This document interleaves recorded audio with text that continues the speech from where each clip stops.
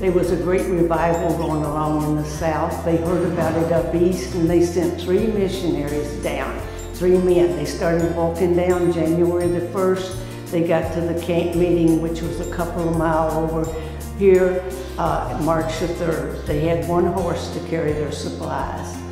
And uh, there was a couple of farmers and their families that lived two miles down this other way. And they were there and they heard what the Shakers were talking about and got interested in it and asked them to come and spend the night. They were the first ones to join. Then people started joining all around. The Shakers were, uh, when during their services, church services, they would literally shake their bodies and tremble and whirl and twirl, and the outside world gave them the name of Shakers because of that.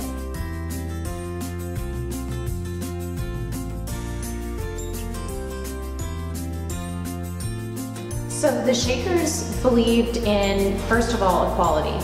But this was a religious community, and their theology dictated that men and women were both equal, but that since they were living in, in the millennium, uh, which was that Christ had already appeared here on earth, they were living on heaven on earth.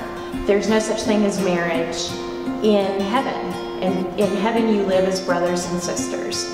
And to be able to help keep order and simplicity as well as enforcing the rules of celibacy, they kept separate quarters and had separate entryways. And it, throughout Shaker Village, if you see any building that just has one doorway, that means that one gender went through that doorway or went into that building or worked into that, in that building. But if you see, just like right behind us, we've got two separate stairwells, thus two separate spaces to be able to keep the sexes separate because that was part of, of their belief system. They were brothers and sisters.